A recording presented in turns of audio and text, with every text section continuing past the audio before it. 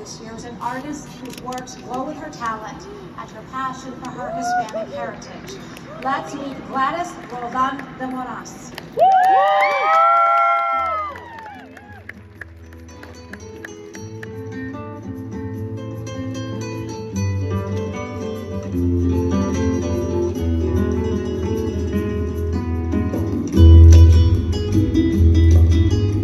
2023 Cowgirl Hall of Fame honoree, Gladys Roldan de Moras. Gladys Roldan de Moras is an internationally acclaimed artist who draws inspiration from her national and family heritage, weaving her identity into every stroke, creating art that resonates with audiences worldwide. Born in Monterrey, Mexico, Gladys was raised by her parents and grandmother, her grandfather, a charro, was part of a group who worked toward declaring charreria the national sport of Mexico. She was drawn to art at a young age, visiting her uncle's art studio and going to museums.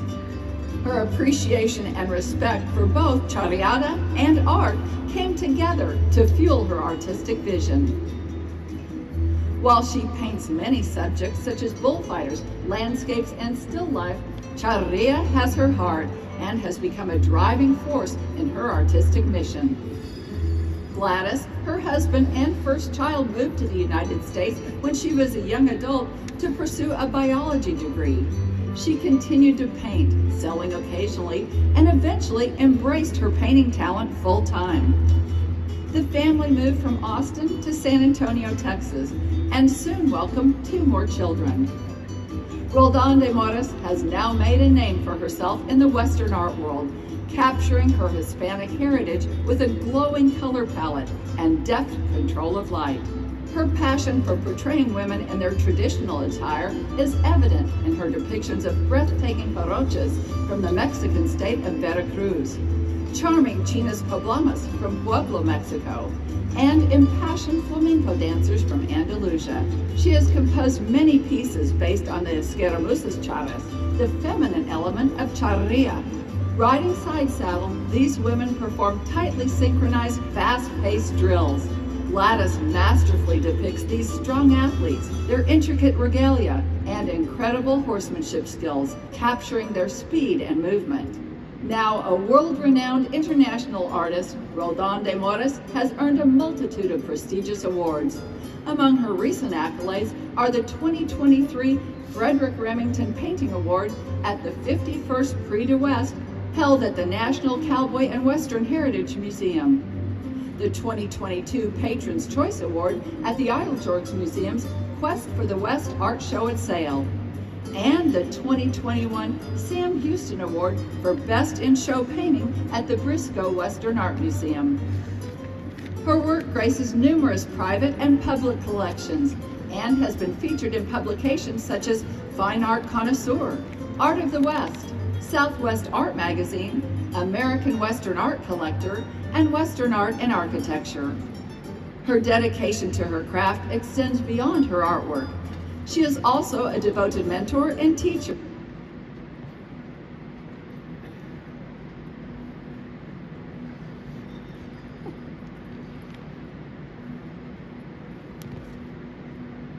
shaping the future of Western art. Roldan de Moras has emerged as a cultural ambassador, bridging the gap between tradition and modernism. Her ability to infuse her Hispanic heritage into every stroke of her brush Preserving these traditions solidifies the importance of her work in their representation.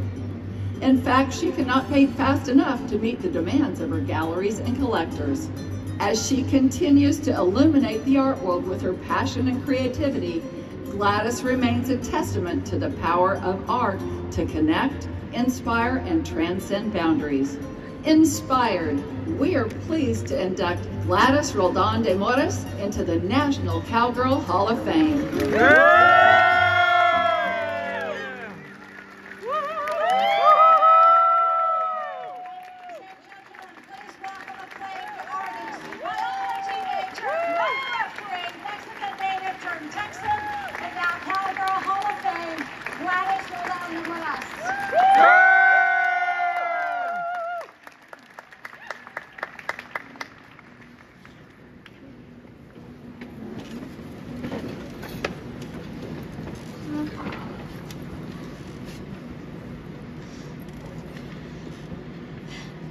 Lord, for all your blessings.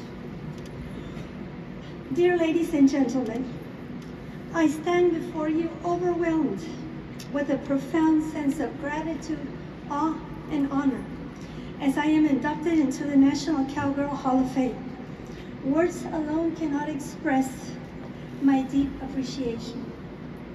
Growing up in Monterrey, Mexico, I never imagined that one day I would have the opportunity to carry on my grandfather Ernesto's passion and love of charreria through my own work in this great nation I am proud to now call home.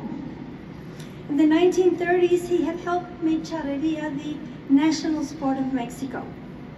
Some time ago, after years of studying the technique of painting, I found myself still searching for my voice in art. It was during this period that a friend offered me his advice. He said, you should paint what you love.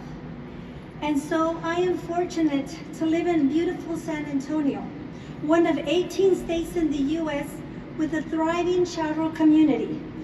During a visit to a local lienzo, I was immediately overcome with emotion. I knew I had found my voice, La Charreria. I then realized I then realized that as an artist, I had the unique opportunity to shine a spotlight not only on the Mexican charro and vaquero, but on the escaramuza, proud descendants of the Adelitas, particularly considering their significance in the history of the West. I want to thank my husband, Rafael, my rock, my support, my constant encourager. I would not be here if it wasn't for you. Thank you. To my children, Raphael, David, and Annie, you are the wind beneath my wings. And I thank you for putting up with an artist mother all your life.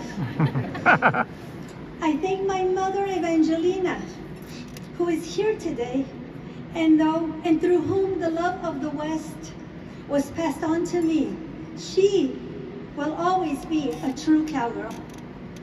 I am grateful to my dear friends, family, students, colleagues, teachers, and mentors, especially one today. I would like to acknowledge one of my very first teachers, Miss Janice Yao Hines.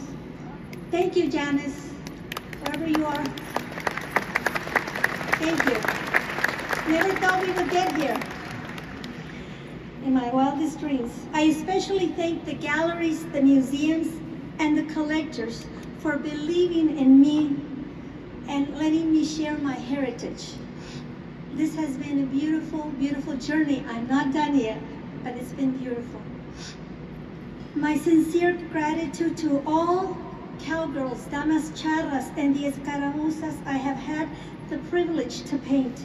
It has been an honor to let your voices be known and help create an important place for you not only in Western art, but in the history of West of the West. To Ms. Carla Murillo, who is here with his with her husband, Victor Galan, Galvan, thank you uh, for being here representing the, the great group of charros of San Antonio. You're somewhere out there. Thank you. Thank you.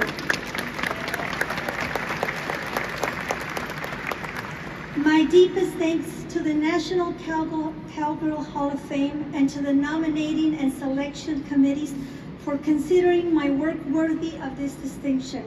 I am honored and blessed to stand on the shoulders of you, past and present inductees and honorees, and I promise to uphold the legacy of the cowgirl with pride and unwavering dedication.